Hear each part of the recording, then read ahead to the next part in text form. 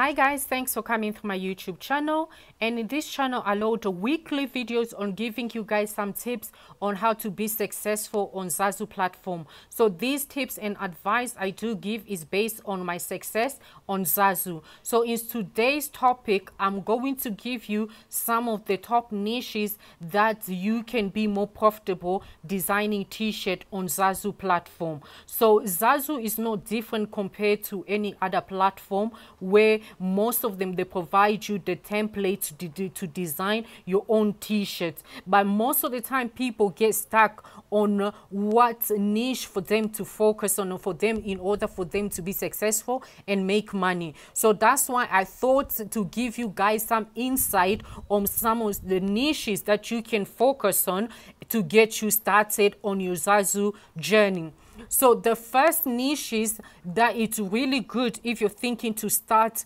doing t-shirts on Zazzle, it's the bachelorette party t-shirts. So this market is growing stronger, stronger as it is part of the wedding and wedding wedding market is a big market.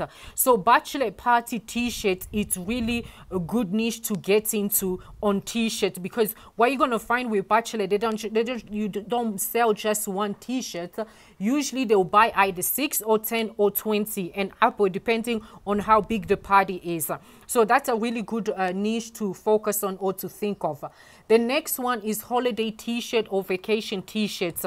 This can be like sometimes you know like there's some people they do like a, a group trip and group trip is becoming very trendy. That could be like with a family or just a tour of events. Designing those kind of t-shirt like a holiday vacation t-shirts with maybe some slogan or logo. It's really also a popular a niche to think of in Zazzle if you're also thinking of doing a t-shirt, uh, uh, getting into t-shirt design. And the other one is family event t-shirts.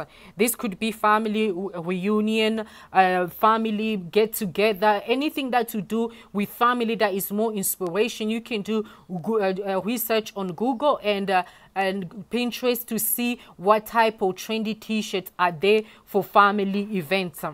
And then the next one, the fourth one, it's a mom to be t-shirt and uh, dad, uncle, auntie, and then at the end of that you can put like a, a dad 2022, uncle 2022, uh, auntie 2022, mom to be uh, 2022, things like that. Anything to do with that, those are really great as well because some people, they might be uh, the first time uh, dads, um, first time mom, first time auntie and uncles. So think of these uh, four niches if you are thinking of doing t-shirts on Zazzle. I would suggest uh, these uh, four uh, niches I suggested. They are really profitable and uh, uh, if you give it a try and see which one you're going to focus on or you can do the four of them or two of them and then see which one does better and then you can focus on that one like i always say with zazzle it's not just about uh, designing a product and putting it out there is all mainly also about doing research to see what type of the design the customer is looking for.